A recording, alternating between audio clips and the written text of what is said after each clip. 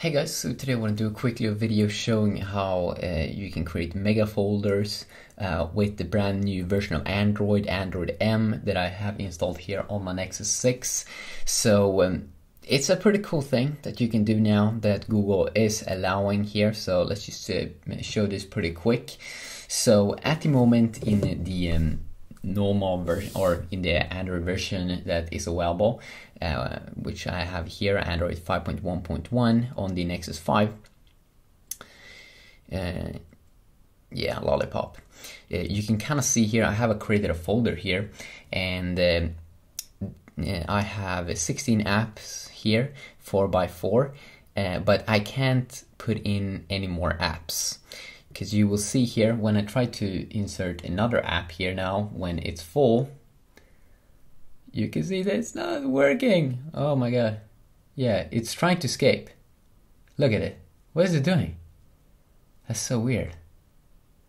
Why is it doing that? Well it's doing that because Google has put a limit on how many apps you can have in Lollipop uh, version of Android. It looks like at least in the stock version. So I just can't put it in. yeah, that's so random. But if I try here in another folder here, uh, which only has four, then that was easy, okay? Because that one isn't full. You can have 16 apps in each folder.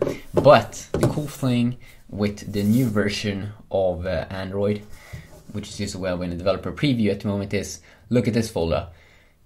I can have multiple rows of apps so you can see down here uh, different pages. So it's pretty funny how now you have this kind of, you can create like an app drawer, like the old app drawer that you do get in Android uh, 5.1 Lollipop, as you see, but you can now create it with just the folders. So if you kind of like this old school way of browsing through apps, you can just create a folder. And I think iOS users also can do it. But if you want a new way, you can go in here and scroll through all of the apps.